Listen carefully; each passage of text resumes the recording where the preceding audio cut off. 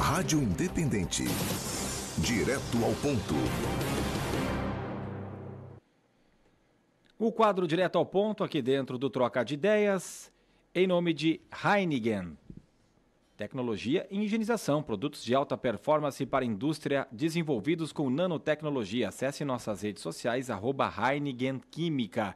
E Colégio Madre Bárbara, da educação infantil ao ensino médio, para a vida. Tradição que abraça o amanhã. Matrículas abertas, acesse matricula.redeicm.org.br. O quadro Direto ao Ponto, nas quartas-feiras, com a participação do promotor de justiça, Dr. Sérgio Diffenbach, que vai falar a respeito dos casos de agressões nas escolas, algo que é preocupante, é revoltante também, né? E principalmente a gente fica pensando nos alunos, nas crianças, né? Claro que uh, as pessoas agredidas também, né? Mas a gente pensa uh, que é um espaço de educação, é um, é um dos principais espaços de educação e as crianças vivenciarem isso, estudantes, enfim, as pessoas que vivenciaram essas cenas, né? E, e realmente é algo bastante preocupante, né, doutor Sérgio? Sim, é, na, não é por menos é, que o mundo inteiro se debate em torno de medidas para trocarmos a violência pelo diálogo, para criarmos uma cultura de paz, para fazermos modificação de comportamento humano. Na verdade, o que se busca numa vida em sociedade é exatamente isso: é uma adaptação do comportamento humano. As pessoas sentem raiva, as pessoas sentem medo, as pessoas sentem nojo, as pessoas sentem alegria, felicidade, tristeza, uh, e isto faz parte da composição humana. Transformar isso num comportamento violento gera um desacerto na sociedade. E isso nós aprendemos e reaprendemos desde quando nascemos até o último dia das nossas vidas e repassamos aos nossos herdeiros, filhos, netos e, e conviventes. A escola sempre foi, é e continuará sendo um dos espaços uh, mais importantes para esse aprendizado da socialização. Uh, são dois ou três grandes espaços. A família, obviamente, que é o primeiro espaço. O segundo é a escola e o terceiro é, é a convivência comunitária. Nesse sentido, eh, nos entristece muito quando um episódio de violência grave acontece dentro do ambiente escolar, que deveria ser um ambiente de composição desses interesses. Mais grave a situação fica quando esse episódio de violência ele vem protagonizado por adultos e pais que deveriam ser o segundo elo de contribuição de ensinamento do convívio social. Mas isso tem feito parte de uma cultura assustadora em alguns momentos, em outros momentos repetidora do que já acontecia no passado, que é pessoas buscando resolver seus problemas pela violência.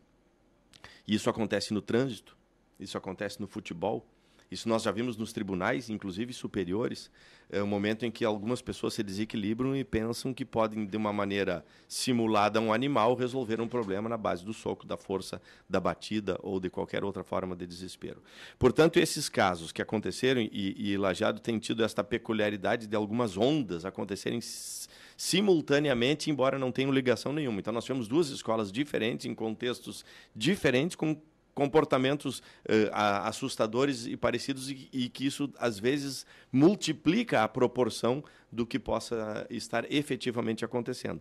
Esses episódios eles merecem o nosso tratamento mais uh, atencioso possível. Eu hoje saio daqui vou estar já dentro de uma das escolas. Amanhã de manhã uh, visito a direção de outras escolas para nós compreendermos as necessidades, quais são as dores daquela comunidade e quais são as possibilidades eh, de abordagem desse tema, independentemente da apuração eh, individual de quem foi o autor, de que tipo de processo vai acontecer, que tipo de, de responsabilização vai ocorrer a partir daquilo.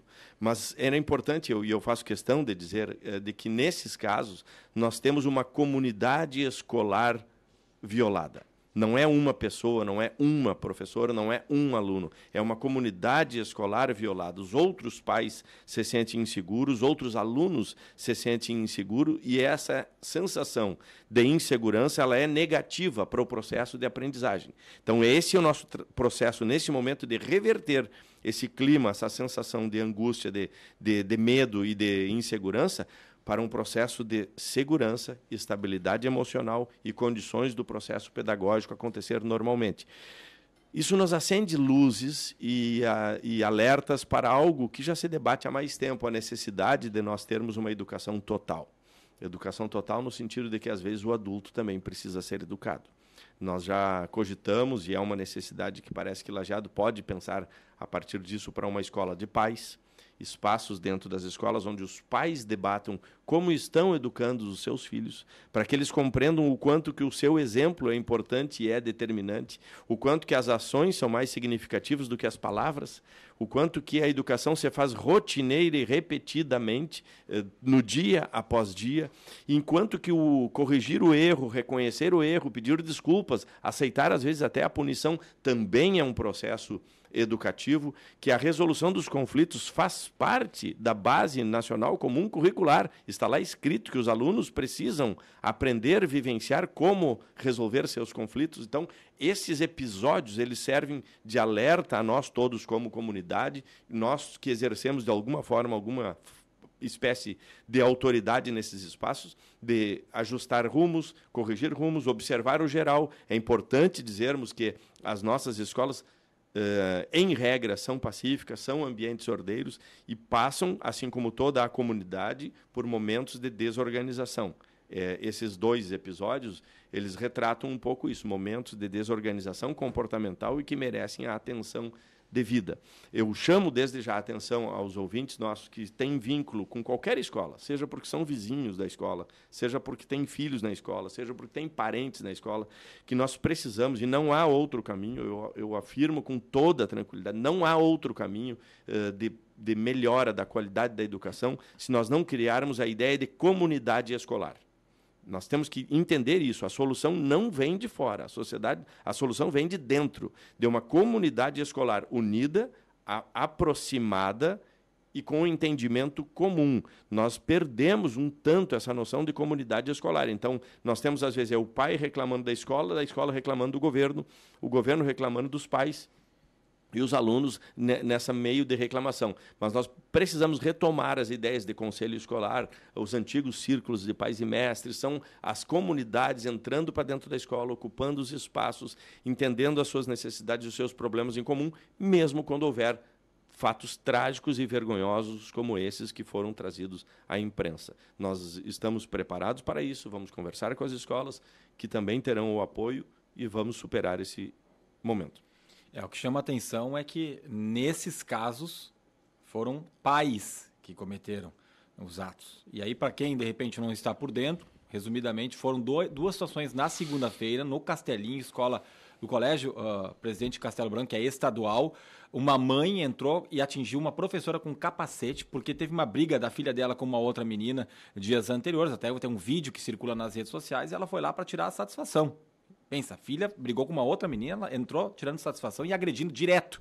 Né, com capacete. E na escola Porto Novo, que é uma escola municipal aqui do bairro Carneiros, aconteceu de um pai que não gostou de saber que o filho dele que estava uh, brincando no pátio teria se ferido com um pedaço de madeira, um graveto no rosto, e aí foi tirar satisfação e ainda uh, assustou, uh, ameaçou as crianças de 5, 6, 7 anos que ali estavam. Então, por isso teve a revolta dos outros pais querendo segurança.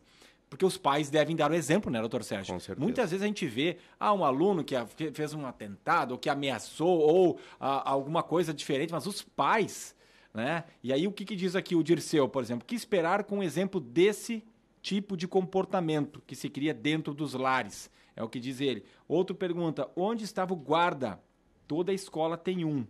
É, não sei se também consegue chegar a tempo, né? O Lauri que faz a pergunta aqui no 999787885 e será que um evento teve ligação com outro? Porque não é normal a gente ver. Ou talvez a gente não fique sabendo e quando foi divulgado um, veio à tona o outro também, porque pais invadirem escola e fazerem o que eles fizeram não é normal, né, Sim, nesta, nesta, proporção não é tão comum.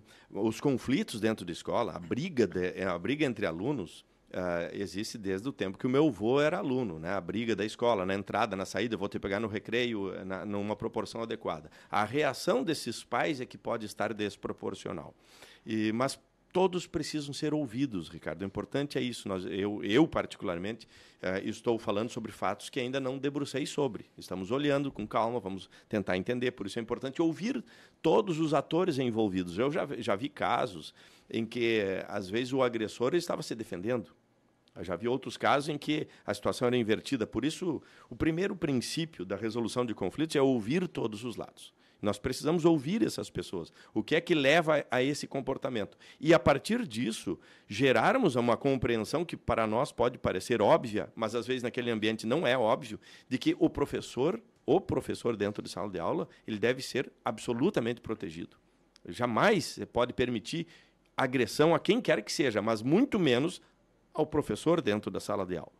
Mas trazendo para as proporções das emoções, quem é que deveria ser dentro de um campo de futebol a pessoa mais protegida? O árbitro. O árbitro. Quem é a pessoa mais ofendida por todo o estádio?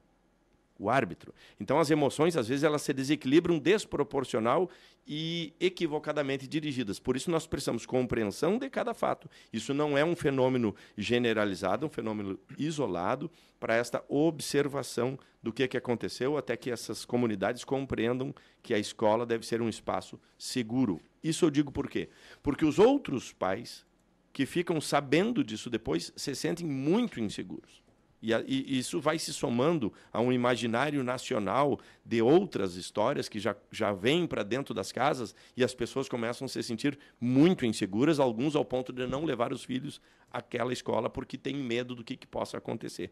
Então nós precisamos juntos, repito, precisamos juntos desfazer esta sensação de insegurança. A presença do guarda ela é importante, ela inibe ou ela faz a intervenção imediata, mas ela não resolve todos os problemas, muito menos quando eles são causados por, pelos próprios pais.